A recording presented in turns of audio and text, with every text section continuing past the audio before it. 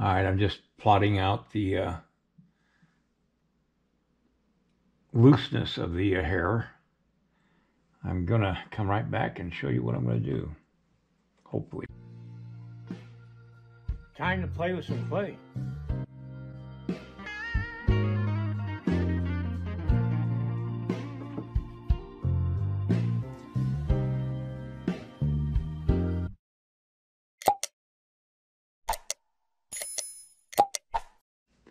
All right, I made an armature for the uh, piece of hair that's going to be sticking out.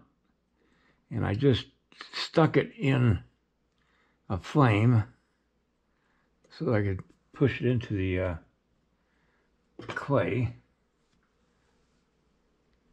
Ooh, it's hot. Gotta let that cool off a little bit. And I need to bend it down just a little. I'm going to let it cool first.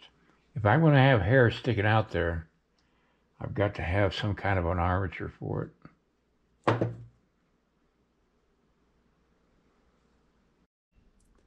I don't know how much you can see with my big hands in a way, but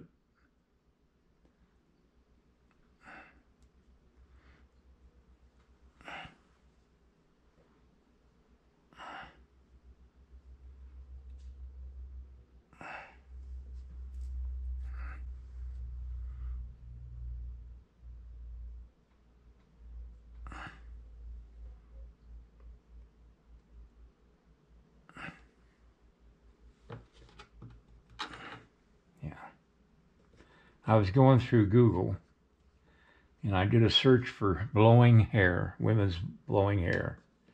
I found some pretty good references. Not great, but pretty good.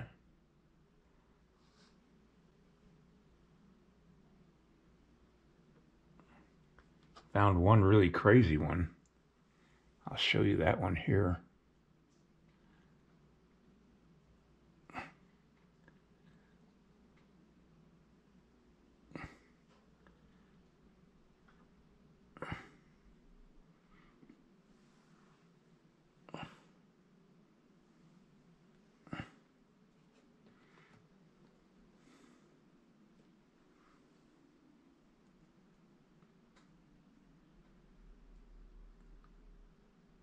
The reason I'm using an armature is I don't want this to start drooping. The clay can't hold itself up. And I just got to cover up the uh, wire in the back. No big deal. Now there's a different direction the hair goes in behind her neck from the pictures I've seen. And uh, I got to try to emulate that in some way.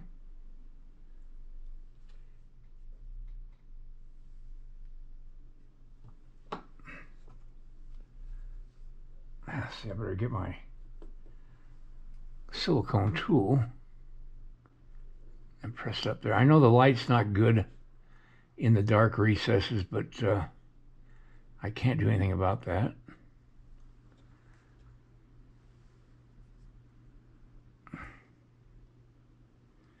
For some reason, I got a Willy Wonka song going around my head. Come and see, do do do. I don't know why I got that going through my head.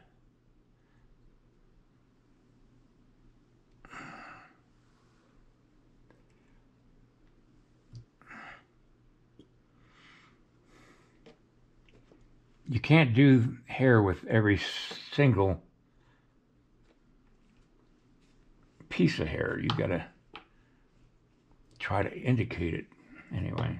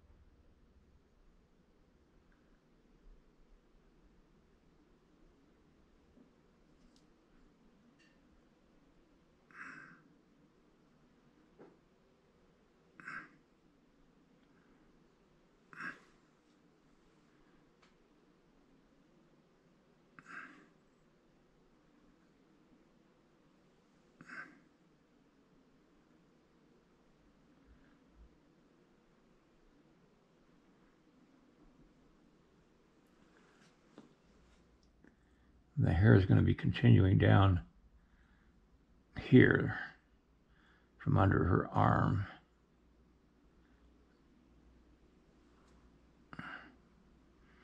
That gives me the fill in I need between her arm and the uh, shawl.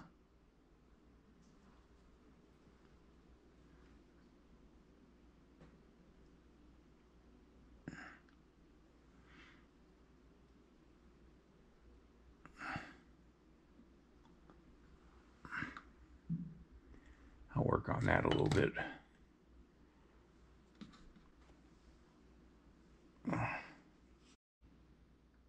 Gonna add just a little bit of hair right there.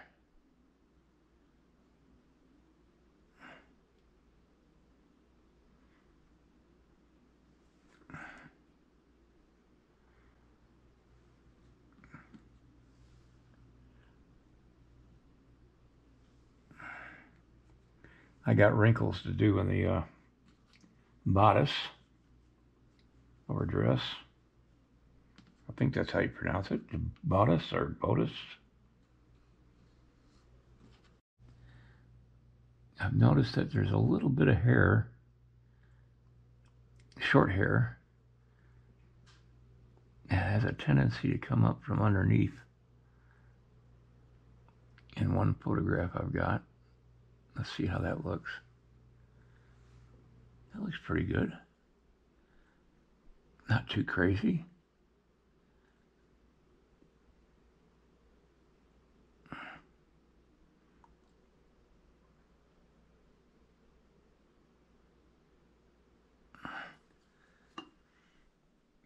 I'm just uh, going to take smooth it out a little bit with this Ronsonol.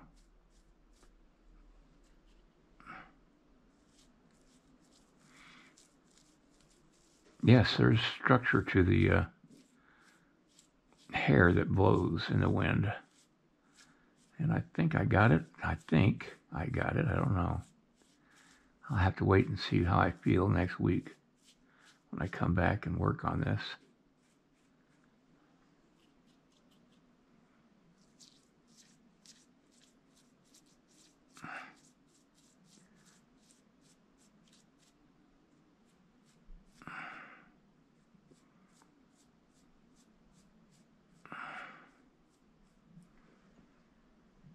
I'm liking it. I'll just have to see how I feel once I get this side done. Anyway, that's. I'm having an idea right now, and I'm just coming back for a quick moment. I want to frame her face in, and I'm thinking I might have some hair coming across like this. I'm going to have to cut that down a little. But that would frame the face in nicely, even from this angle. Anyway, just an idea that was flashing through my head. It's the way ideas are developed. All right, see you next week. Good night. If you like this video, please like and subscribe to my channel. It really would help me. Also, check out the link below this video. It will take you to a review of my nine instructional videos that could be very helpful to you if you're thinking of sculpting. Good night, everybody.